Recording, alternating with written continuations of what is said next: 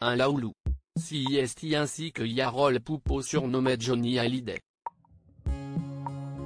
Après des années de collaboration artistique sur des albums, sur des tournées, les deux artistes ont appris à se connaître, à s'observer.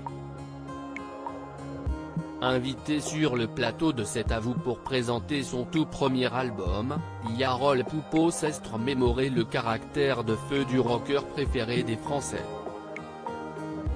C'était quelqu'un qui était dans un doute permanent. Il avait le goût du risque, il aimait se mettre en danger. Il n'aimait pas être tranquille, il n'aimait pas être dans une espèce de zone de confort. Il fallait toujours qu'il se passe quelque chose d'un peu dangereux, qu'il y ait un truc un peu différent de la veille. Une mise en danger artistique, semble décrire Yarol Poupeau, qui caractérisait Johnny Hallyday. Il aimait bien la bagarre quand il était plus jeune mais il aimait bien la bagarre sur scène aussi, avec le public.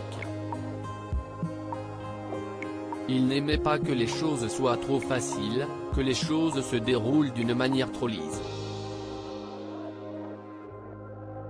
Et s'il y a bien un trait de caractère que Johnny Hallyday a laissé derrière lui après sa mort en décembre 2017, c'est ce tempérament de feu?